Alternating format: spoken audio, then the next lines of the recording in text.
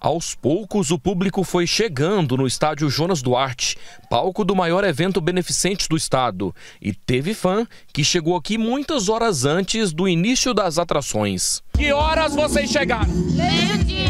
Por que tão cedo? Só pra ver o Guilherme. Pra ficar aqui bem pertinho. Sim. Agora tem aquela música especial. Tem. Namorada reserva. Namorada reserva. Amante não.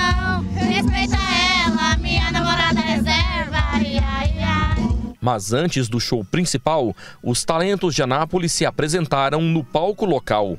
Um pagodinho vai bem.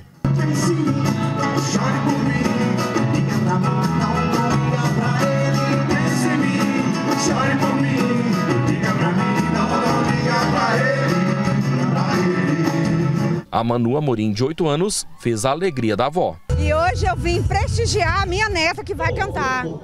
Ela tem apenas 8 anos e já tá aí, ó.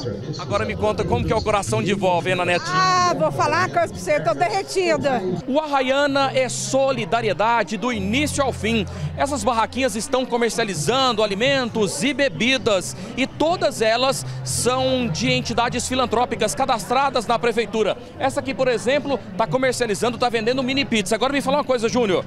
É importante mesmo participar do Arraiana aí para a saúde social da entidade? Sim, é, um- é muito importante, até mesmo um evento muito esperado para nós da associação. É um evento filantrópico aqui da nossa cidade, excelente.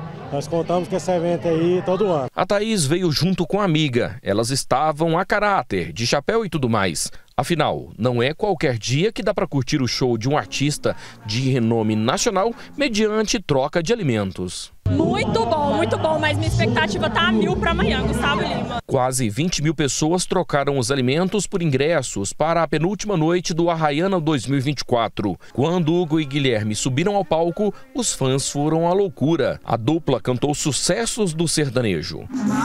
dentro de uma banheira, no quarto de estrada. Saudade batia, nosso tesão. Mas é só eu colocar